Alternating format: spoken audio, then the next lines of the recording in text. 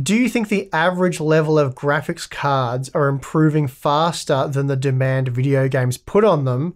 And is this another reason companies like Nvidia are driving up prices? So a bit of a chicken and egg situation there with Nvidia being dirty on the end. um, because seems not much struggles with my 3070 at 4K in the current gaming market. Okay, have you played Cyberpunk 2077? This is it's a relatively new game.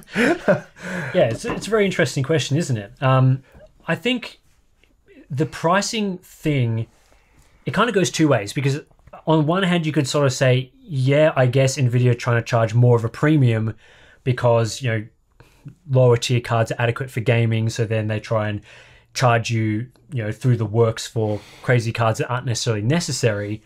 But I think that's more just about. I think it's more based on what people are just willing to pay. There's high rollers out there. We've talked about this many times before that there are people with very deep pockets that are willing to spend thousands upon thousands of dollars for very marginal improvements. yeah, absolutely. So that's I think that's largely the driving factor for prices going up.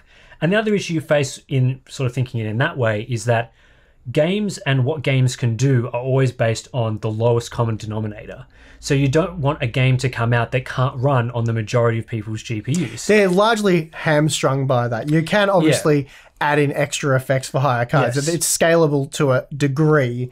Yes. But- But the the level to which most games scale is, you know, most of the effects are still enabled on your lower settings. It's, di- you, it's difficult to create three different versions of the game to, to cater for those different. So, like most games, when you go from medium to ultra settings, Mm-hmm. are doing things like increasing the resolution of shadows. They're not Mm-hmm. turning shadows on, right? Like they're not going crazy on draw distances and stuff because a lot of these cards still can't handle it and those sorts of things. So, I think there is some merit in saying that games aren't improving as fast as graphics cards, but that's also again based on the sort of lowest common denominator that people are using. The hardware paves the way. yeah, that's you right. can't- So You end up with a Crysis type situation or worse. You you have to have the hardware there, so then game Yeah. developers know what they're working with. And I know a lot of people liked Crysis because it was a very future looking game. So Mm-hmm. you'd run it years down the track and see what your game does. But Mm-hmm. in my opinion, it doesn't make any sense for game developers to do that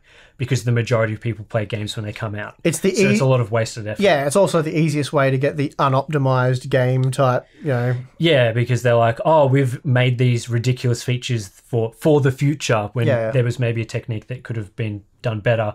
But I think the main reason why we're seeing this situation happening now is because there's been stagnation for a long time in the lower to mid range of the market. And this has been happening before the current situation of GPUs right now.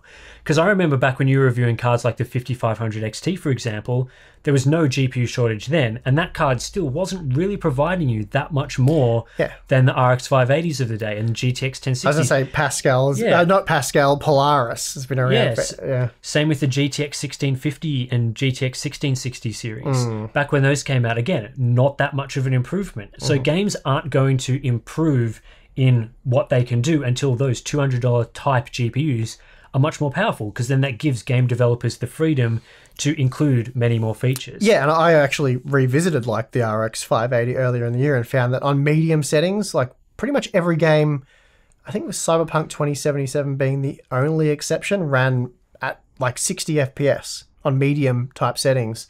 Yeah. uh, if I'm recalling correctly. So it's still a very capable gra- uh, gaming graphics card at 1080p anyway. And then some games medium to low at 1440p. So until that thing's like dead, dead, like you just can't use it, you're not going to see a, a huge leap forward. Yeah, and again, we're right at the start of a console generation, so a lot of the new game engines and techniques that are probably in development at the moment aren't going to come out for several years, which is, you know, that that is potentially going to cause some of these cards that are might seem good enough now to suddenly seem not good enough anymore, mm-hmm. especially cards that don't support more current generation techniques like don't have great DirectX 12 Ultimate support. Those might start to struggle but again, that's going to take some time. So, yeah, I think what might, you might be seeing pretty with a 3070 for now. I would expect that in a couple of years, once we start getting game engines designed with the next generation in mind, that you'll you'll quickly find that your 3070 doesn't handle 4K very well, especially with Unreal Engine 5. I know some people sort of looking at the demo there, and some of the things you can do in that engine uh, are very easily make these GPUs run at their knees without even factoring in ray tracing. So, Well, in my opinion, the, the thing that really makes games look the most realistic, the most immersive is big textures.